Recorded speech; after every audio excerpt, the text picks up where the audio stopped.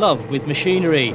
Before now, he's been into American cars, but even his wife Linda made guest appearances at fetes and charity affairs. Even so, after three decades of service, it's only got about 300 miles on the clock.